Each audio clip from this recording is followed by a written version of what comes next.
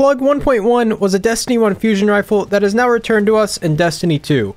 This is an amazing fusion rifle that you definitely want to farm for. So how do you get it and which perks do you want? Stay tuned to find out. Gather your light and prepare for battle. Before we start, if you find yourself enjoying this video, please consider subscribing. Only a small percentage of people who watch my videos are actually subscribed, and I want more. Also, emblem giveaway. Comment down below to have a chance of winning.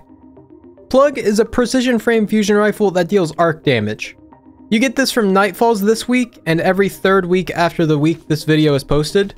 This is because next week, the Nightfall will drop the Hung Jury Scout Rifle, and the week after that will be the Uzume Sniper Rifle. Similar to the Palindrome, Swarm, and Shadow Price from last season, all you have to do is complete Nightfalls, and you have a small chance of getting one at the end. You increase your chances, however, by running the harder difficulties. If you have a good team that can run Masters, go for that, those have about a 1 in 3 chance of dropping the plug. For solo players, go for the hero difficulty. This is the highest difficulty that allows you to matchmake for a team and is fairly fast and easy to run. There's also an adept version of this weapon.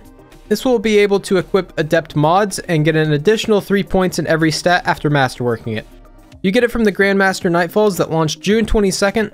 This season, Grandmaster Nightfalls are 1360 power, so you'll need to grind for pinnacle rewards and XP up to 1335 in order to attempt those Nightfalls. Now, I know what you're really here for, so let's get into the perks.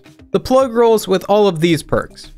Focusing on the two main perk columns, some things that stick out to me for PvE are things like Feeding Frenzy, Adrenaline Junkie, and Reservoir Burst. Adrenaline Junkie is a new perk that increases your damage after getting grenade kills. If you've been following the channel for a while, you'll know that I love grenade builds. This is just going to make all grenade builds that much better. Reservoir Burst is also great for damage.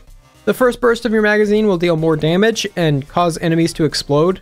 This was an amazing perk back in the day when it was only on loaded question, and this is not only still great, but the best perk for all fusion rifles in PvE.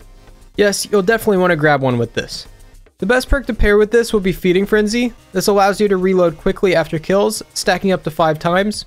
When you're causing massive explosions with your first burst, you'll be able to easily reach maximum reload speed often, then you'll be able to get another reservoir burst and continue the cycle. The battery I would choose to go with this is liquid coils to increase damage at the cost of charge time. For PvP, we have a few interesting options. Once again, I would go with liquid coils for increased damage, which indirectly means increased range. The main perks you want to keep an eye out for would be Heating Up, Under Pressure, Killing Wind, and Quick Draw in the third column, and Kickstart or Backup Plan in the final column.